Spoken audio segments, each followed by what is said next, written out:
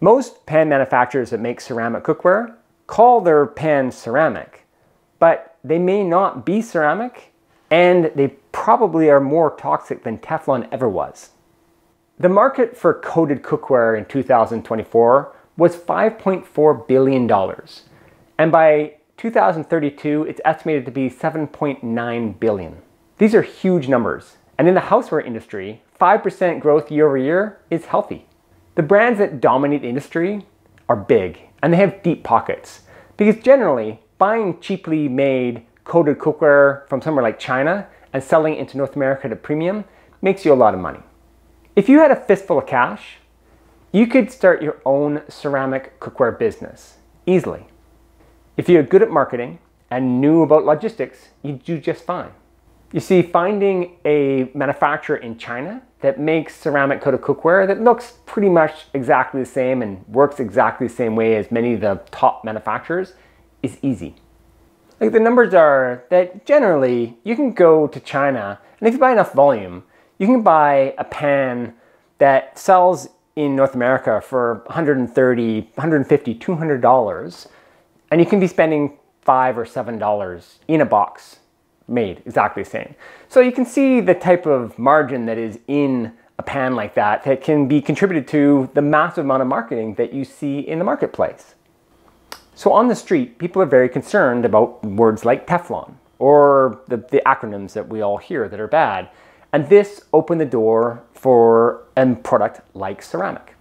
Ceramic pans are silica based, so they're, they're a, a type of quasi ceramic um, coating. They have a type of base core ingredients to it, but it is not a ceramic pan.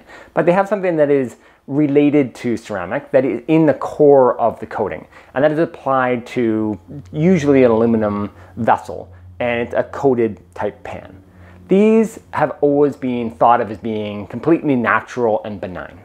These plans were received very well. People thought they were a great green alternative to Teflon and people were okay buying them even though that the performance was quite a lot less than Teflon and life was a fraction of anything else out there. Like basically the first generation of these types of pans didn't work that well and didn't last very long, but they were nonstick for a certain amount of time and people wanted to get away from Teflon. They've improved dramatically over the years, so you get a decent life and they are much more nonstick than they once were, but they still are nowhere near as good as a brand new Teflon pan. So as I was saying, this is a quasi-type ceramic coating. These are not ceramic pans. So when you think of a ceramic pan, you would think of like a teapot or a, a casserole, something that is 100% ceramic. These pans are nowhere near that.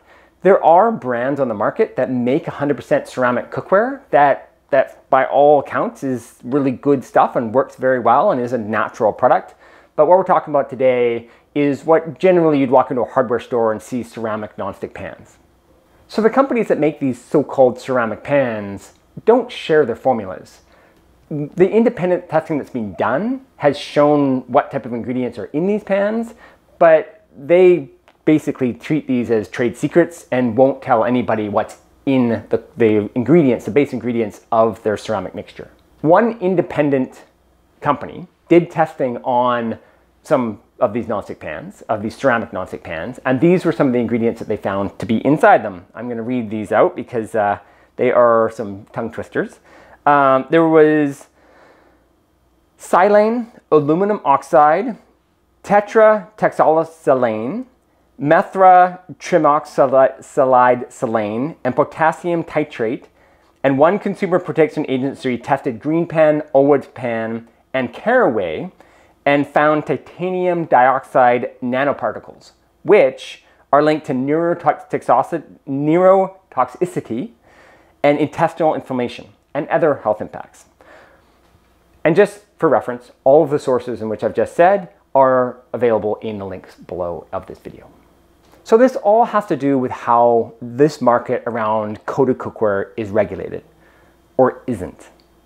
So the responsibility is that each manufacturer has to be testing their own cookware and reporting if they find anything that could be a health hazard. So this was exactly what DuPont was supposed to be doing when it, for generations, poisoned its employees in its factories and the communities around those factories and was then found liable for doing this. They were supposed to be self reporting, and now the chemicals that were produced in those factories are reportedly in almost every single living person and animal on the planet. There's very few regulations and very little oversight. Basically, the cookware company can do whatever they want. The punishment comes is if they get caught. In the world of Teflon, the amount of, of toxic chemical that is actually used in the pans is very, very, very, very small.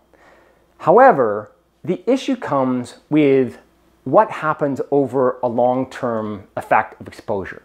This is something that will never be definitive because if somebody was to develop some sort of a health effect that would be somewhat associated with what PFAS or PTFE, PTFE has been proven to do to somebody, over the lifespan of that person, there'd be no way to know if it was the cookware or the smog that they drove to on the way to work or something else that they were exposed to at work or the three Big Macs they decided to eat every week for 20 years. So testing has shown that using nonstick cookware that is sold today does not directly cause any sort of issue. That, that means is that you're going to use the pan today, you're not going to create a tumor directly caused tomorrow. But what has been proven is that exposure to these chemicals that they put into cookware over a long period of time can be carcinogenic. Teflon type nonstick coatings have been under the microscope now for a long time. And Teflon, eh, the brand, and others, 3M and the ones that make the, the chemical, did a tremendous job on flipping the script when it became known clearly and definitively that the chemical that they've been using was directly carcinogenic. They did a great job flipping the switch. And they changed the chemical by a small amount and went to the marketplace and very loudly started to proclaim that they had fixed the chemical and there was no problem going forward and it didn't have any of the damaging chemicals before. This has been proven also to be a lie and the issue around the chemical still being carcinogenic is there. They, their way that they get around this is by using such a small amount in each one of the pans that is made that it isn't above the threshold to be thought of carcinogenic. But the chemical that is produced in the plant and also then the waste afterwards is still highly carcinogenic and gets into our environment. For a long time, since the beginning of ceramic cookware, it has been touted as the green alternative, the healthiest choice, that it is completely benign and there is no problem. The first generations, maybe so, because it was so crappy and it worked so badly that maybe it was just made out of the greenest stuff possible. But over time, customers have demanded better and they have improved. The quality has become better. The quality is in like the durability of them. But the question here is what's in the chemical makeup of that quasi-ceramic coating. The story of ceramic has become so successful for manufacturers to get away from using nonstick that even brands like Hexclad have jumped on this bandwagon. So they have just released this new prepared, proprietary blend of ceramic nonstick on Hexclad. And this, other big brands have done the same sort of thing to get away from the terms PTFE or, or PFAS chemicals, what they like to group and call forever chemicals. But the thing here is that they say what they've done, but they're not showing, they're just one example, they're not showing what it is that they actually do do. They're like, we've gone away from this bad thing to something other, and it's good for you or better or healthy or whatever they want to term it, but they're not showing exactly what it is because that's a secret. They couldn't tell you what the ingredients were because that's a secret. So you just have to trust us in this industry that is directly poisoned and directly killed people. Like they've these people that make these nonstick coatings have been found directly liable for making toxic chemicals and pouring them into our environment. And pan companies have been happy to just use this stuff happily for the entire duration of this, this existence. And now they're like, oh, we fixed it. Everything's fine. Don't worry about it. Everything's healthy. This is totally fine. Just trust us. However, I know how people want to use coated cookware. I get it. It is still a massive, big industry, and lots of people just want it to be simple and easy. So what do we do here? It's become clear now after you know testing and the push and beginning of regulation that ceramic could have some very toxic chemicals in it, even maybe more so than what Teflon had. Teflon to a lot of people is just a no-go. So what do you do if you want a good non-stick coated egg pan? Well, there might be one solution. There's an organization in the US called NSF, so NSF certified. You may have seen it in some of the products you've bought before. They're an organization that certifies all types of things in all types of industries. They set the standards based on different factors, you know, government regulation or whatever it is, and they set the standards on whatever it is they're testing, and they test those standards, and if the brands meet those standards, then they get to put the little NSF sticker on their brand. Kind of like organic. So these guys just, just set up a standard for testing PFAS in food processing and food equipment. This certification in cookware is called the NSF 537 PFAS-free certification. So if you see the NSF sticker on a coated piece of cookware, you know that that at the moment is the very highest standard that is available. So that's a very good step, I would say. So if you're in that camp, like I really got to have that egg pan and that's what I'm going to buy, maybe this is a direction for you. You know, there's a way that things could give you some clarity on which way you're going to be buying your cookware.